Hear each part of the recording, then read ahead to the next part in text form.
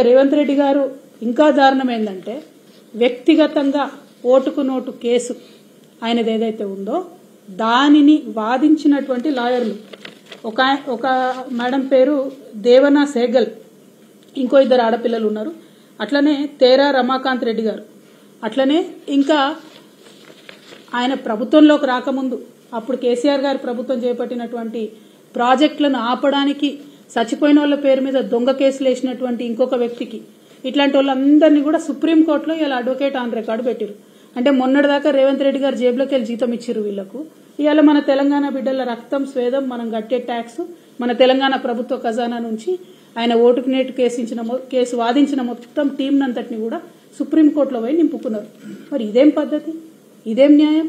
ఎవరు లేరా? ఇంకా కొత్త వాళ్ళు న్యూట్రల్గా ఉండేవాళ్ళు తెలంగాణ రాష్ట్ర ప్రభుత్వ ప్రజ ప్రయోజనాల కోసం పనిచేసే వాళ్ళు ఎవరు లేరా? మీ ఓటుకునేటు కేసుని మీ ప్రైవేట్ టీంని తీసుకుపోయి అలా సుప్రీంకోర్టులో పెడితే నిజంగా కాంగ్రెస్ పార్టీలో ఇంతమంది సీనియర్ నాయకులు ఉన్నారు. ఒక్కరు కూడా ప్రశ్నించకపోవడం చాలా దారుణం. ఇది తెలంగాణ ప్రజల యొక్క డబ్బును సొమ్మును దుర్వినియోగం చేయడం తప్పితే ఇంకొకటి కాదు అని చెప్పి మేము తెలియజేస్తూ ఫైనల్గా గౌరవ ముఖ్యమంత్రి వర్యులు రేవంత్ రెడ్డి గారు మీరు చెప్పినటువంటి నీతి వాక్యాలను మీరు పాటిస్తే బాగుంటుంది. ఉద్యోగాల విషయంలో మీరు అడ్డంగా అబద్దాలు ఆడారు ఉద్యోగాల విషయంలో కేసీఆర్ గారిని బద్నాం చేసే ప్రయత్నం చేసిండ్రు.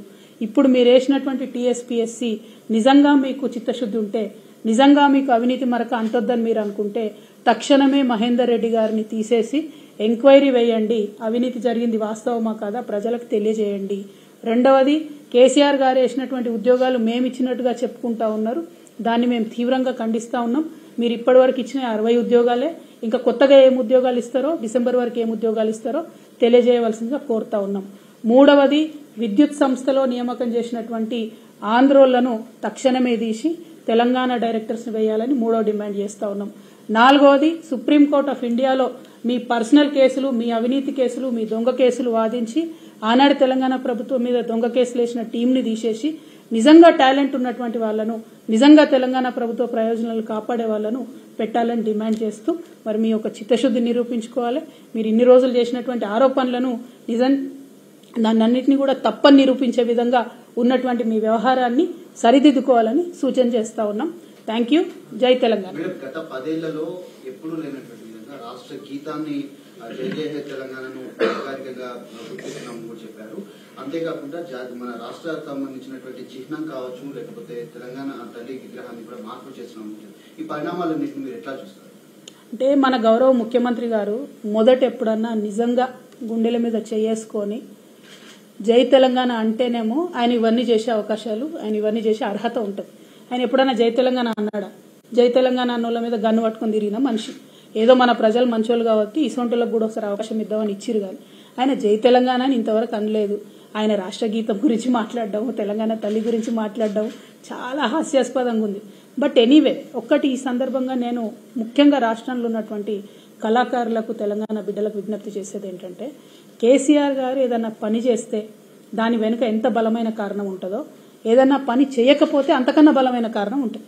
రాష్ట్ర గీతం దగ్గర పంచాయత్ షురు అయింది ఇదంతా. రాష్ట్ర గీతం అనేటటువంటిది కాన్స్టిట్యూషన్లో ఇక్కడ చెప్పలేదు.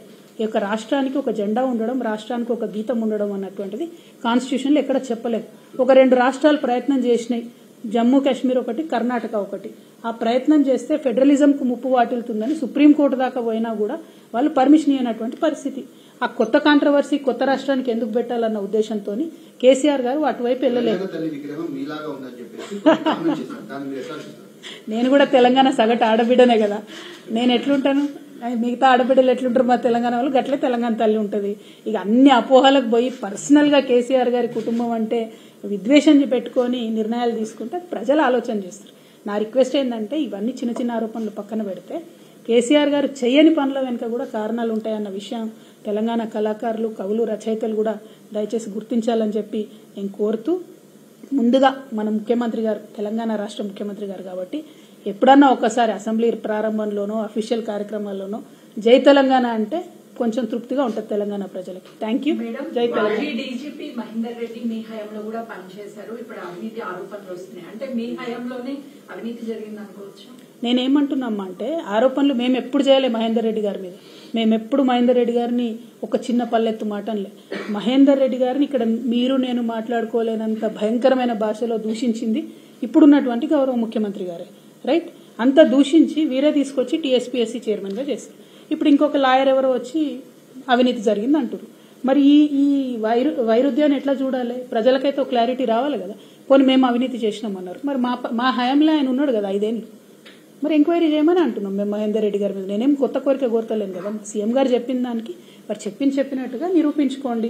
మహేందర్ రెడ్డి గారు స్వాతి ముత్యం కడిన ముత్యం అని మీరే నిరూపించండి ఎంక్వైరీ చేసి జ్యుడిషియల్ ఎంక్వైరీ అయ్యండి కానీ ఈ క్రమంలో తెలంగాణ నిరుద్యోగులకు నష్టం జరగకుండా జాబ్ క్యాలెండర్ ప్రకటించండి. మీరు మొన్న ఇచ్చినటువంటి జాబ్ క్యాలెండర్లో ఫిబ్రవరి ఒకటో తేదీ నాడు గ్రూప్ వన్ ఇస్తామన్నారు వచ్చిందని? ఫిబ్రవరి ఎనిమిదో తారీఖు వచ్చింది.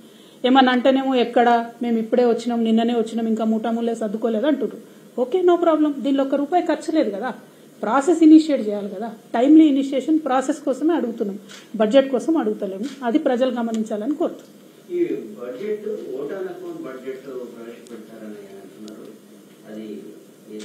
సమంజసం ఇదేమో ఫుల్ ఫ్లెజ్డ్గా ఐదేళ్ళు నడుస్తుంది అనేటటువంటి ఉద్దేశంతో వచ్చినటువంటి ప్రభుత్వం. యాక్చువల్గా అయితే ఫుల్ ఫ్లెజ్డ్ బడ్జెట్ పెట్టొచ్చు. మరి ఓటాన్ అకౌంట్ బడ్జెట్ పెట్టడం అంటే కేవలం పార్లమెంట్ ఎన్నికలను దృష్టిలో పెట్టుకొని తప్పించుకునే ప్రయత్నం ప్రభుత్వం చేస్తూ ఉంది. ఉదాహరణకు నిన్న మేము డిమాండ్ చేసినాం. బీసీ డిక్లరేషన్లో మీరు చెప్పినటువంటి ఇరవై వేల కోట్లను అలొకేట్ చేయండి అని. ఇప్పుడు ఆ డిమాండ్ నుంచి తప్పించుకోవాలి. అందుకని ఓటాన్ అకౌంట్ బడ్జెట్ పెట్టాలి. అట్లా వాళ్ళు చాలా విషయాల్లో డిక్లరేషన్లు చేసిండ్రు. బడ్జెట్కి అలొకేట్ చేస్తామని చెప్పిండ్రు అవన్నీ తప్పించుకోవడానికి మాత్రమే ఓటాన్ అకౌంట్ అంటూ but this is a full fledged government elected by people of Telangana full budget పెడితేనే బాగుంటుంది.